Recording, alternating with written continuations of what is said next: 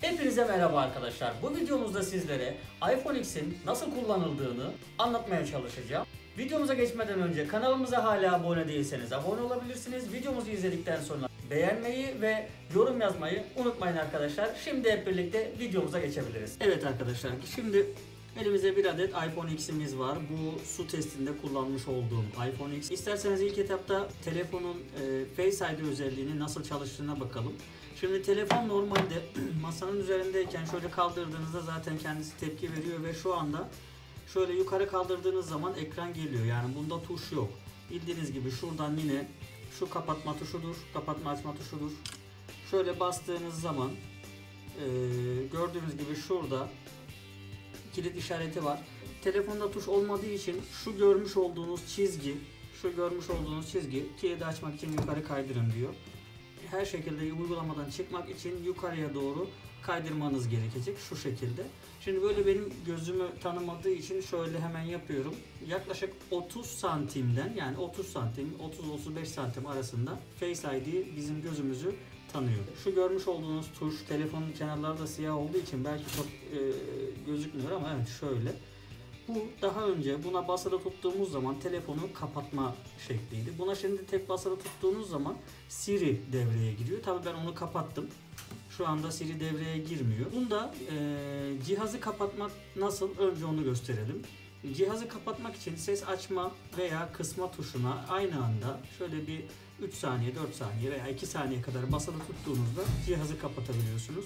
Aynı şekilde kısma tuşuna da bastığınız zaman aynı şeyler çıkıyor. Bir diğer şekilde ekranı kapatma şekli de yine genelden ayarlar. Genel aşağıda gördüğünüz gibi sistemi kapat seçeneği var. Bu sistemi kapat seçeneğine tıkladığınızda şöyle sistemi kapat seçeneğine tıkladığınızda yine aynısı çıkıyor. Bu cihazda Şimdi diyorlar ya buradaki çentik ya çok göze batıyor şöyleydi böyleydi. Tamam videoda göze batabilir ama şöyle bir durum var. Şimdi Samsung'larda şu görmüş olduğunuz çentik şurayı da kaplıyor. Şu iki kenarı da kaplıyor. Apple'da bu bu şekilde işliyor arkadaşlar. Şuradan indirdiğiniz zaman denetim merkezi geliyor. Buradan indirdiğiniz zaman Buradan indirdiğiniz zaman da gün içerisinde gelmiş olan, gün içerisinde gelen e, bildirimler size e, burada karşınıza çıkıyor.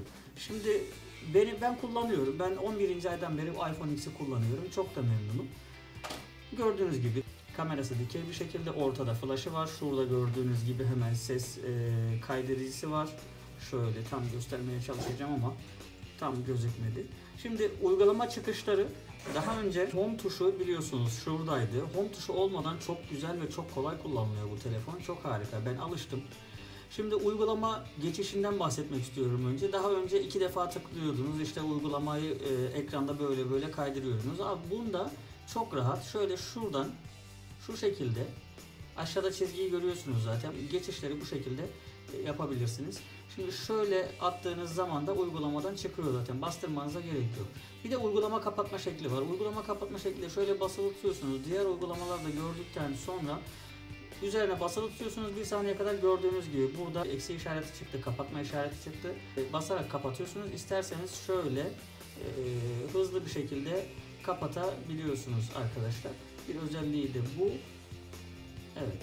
Şimdi aynı zamanda diyelim ki parmağımız yukarıdaki ekrana parmağımız yukarıdaki ekrana yetişmiyor. Yani bir şekilde telefonu tutarak iki elimizle tutmamız gerekiyor. Şu şöyle bir özelliği var. İlla ki bilenler vardır. Şöyle aşağı çektiğimiz zaman gördüğünüz gibi ekran e, yarıya iniyor ve kullanımımızı kolaylaştırıyor. Da çok güzel bir özellik. Siri dediğimiz zaman zaten Siri'de e, komutla çalışıyor. Eski telefonlarda iPhone e, 6s'lerden öncekilerde illaki şarja takılı kalması gerekiyordu ama Siri kabloya bağlı olmadan, şarja bağlı olmadan veya bilgisayara bağlı olmadan e, çalıştırabiliyoruz. Hey Siri dediğimizde çalıştırabiliyoruz gördüğünüz gibi. Şu anda internete bağlı olmadığı için e, algılayamıyor. Şu şekilde çıkışımızı yapıyoruz. Gördüğünüz gibi e, burada e, mikrofon, e, şarj yeri ve hoparlör yeri var. Yani çentik olarak da beni çok fazla rahatsız eden bir özellik değil. Kesinlikle kullanıyorum. Ee, ne kadar su almış olsa da kullanmaya da devam ediyorum bu telefonu. Bu arada iPhone X'i su testinde e, kullandığımda su testindeki işte izleyen arkadaşlar e, çok yorum geldi, bayağı bir beğeni geldi. Ee, şu anda 80 bine doğru gidiyor izlenmesi. Ama bazı arkadaşlar şöyle diyor, bu iPhone çakma diye e, yorum yazıyorlar. Bu iPhone X'imiz kesinlikle çakma değil, orijinal faturası da var. E, Media Market'ten almıştım zaten ve kullanmaya da devam ediyorum. iPhone X'te, iPhone 8'lerde ve iPhone X'lerde e, iOS 11 e, çok hızlı çalışıyor arkadaşlar. Size şöyle bir müjde de vereyim. I, e, iOS 12 gelecek Haziran ayında tanıtılacak. iOS 12 tanıtıldığı zaman şimdi bir video izlediğimizde iPhone'ların yani ben yıllardan beri nefret ettiğim bir özelliği aslında yine de kullanıyorum. Yıllardan beri şöyle video izlediğimiz zaman şimdi videoyu açacağım size. Bu videoyu açtığımız zaman sesini kısalım. Bakın ses kısma olayı ekranı neredeyse kaplıyor. Bu olaylar bunlar kesinlikle iOS 12'de kalkacak arkadaşlar. Ses kısma olayı, ses açma olayı.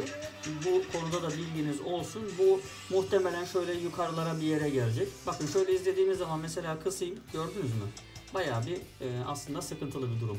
iOS 12 ile bayağı bir özellik e, güncellenecek, bayağı bir özellik gelecek, görsellik artırılacak. Fakat e, işte iPhone 8 ve iPhone X'lerde çok rahat kullanılabilecek, stabil kullanılabilecek ve yeni çıkan iPhone'da kullanılabilecek. Bu konuda da bilginiz olsun arkadaşlar. E, çok güzel özellikten bir tanesi de bildiğiniz gibi Face ID özelliği. E, şu anda mesela şimdi gözümü gördüğü anda açıldı. E, gördüğünüz gibi şöyle kilit işareti var.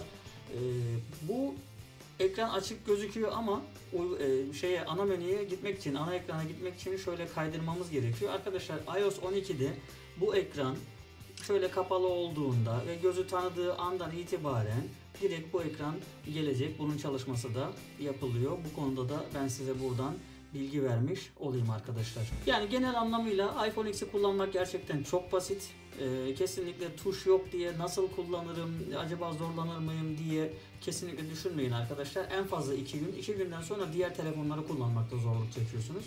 Ee, Ben çünkü bunu bizzat yaşadım. Her telefona şöyle şöyle atmaya çalışıyorsunuz işte uygulamadan çıkmak için. Ama e, orada bir tuş var. O tuşa basıp e, eski telefonlarda öyle çıkıyor. Ben çok alıştım. Keyifle kullanıyorum. Hızı olarak da hız olarak da güzel. Çözünürlük olarak da zaten şu anda da videoyu diğer iPhone X'ten çekiyorum. E, 4K özelliğinde çekiyorum. 4K'da çekiyorum ki daha kaliteli anlaşılsın ve daha kaliteli gözüksün diye. Yani genel anlamda dediğim gibi memnunuz. Özellikle benim en çok hoşuma giden şu olaydır abi. Şöyle uygulamalar arasında geçiş yapmak. Evet arkadaşlar bir videomuzun daha burada sonuna geldik. Videomuzu beğendiyseniz lütfen beğenmeyi unutmayın. Kanalımıza abone değilseniz abone olabilirsiniz. Yorumlarınızı mutlaka bekliyorum arkadaşlar. Elimden geldiği kadar yorumlara hızlı bir şekilde cevap vermeye çalışıyorum. Kanalımdaki diğer videolara ulaşmak için hemen yan tarafında bulunan bağlantılara tıklayabilirsiniz arkadaşlar. Bir dahaki videomuzda görüşmek üzere. Hoşçakalın.